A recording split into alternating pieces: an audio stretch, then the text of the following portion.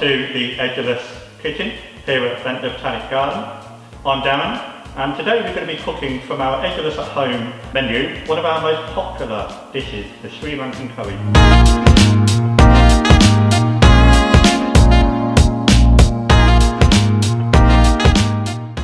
Today we're going to be cooking the Sri Lankan curry which features a wide range of fresh ingredients such as butternut squash, sweet potato, red peppers, chili for the heat. To start with, we're going to chop, spice and roast the delicious butternut squash and the sweet potato.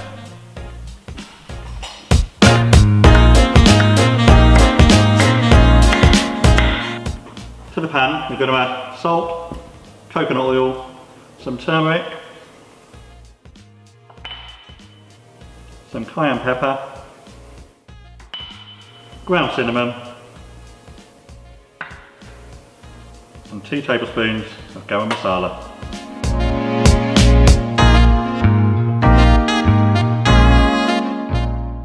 Sweet potato, butternut squash, spice, ready for the oven.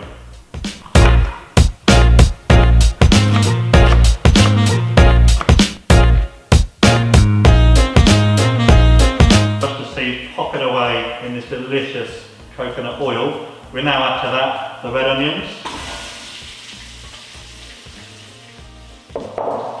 chopped green chilies,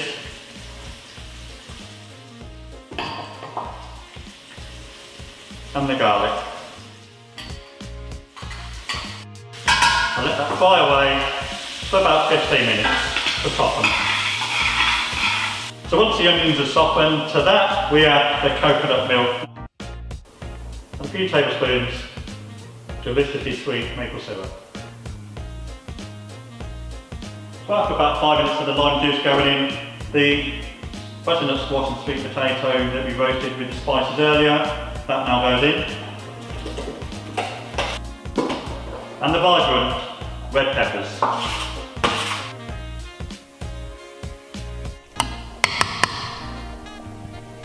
Once cooked, each meal is then flash frozen and can be delivered or collected to be enjoyed at your home. Further details from our website.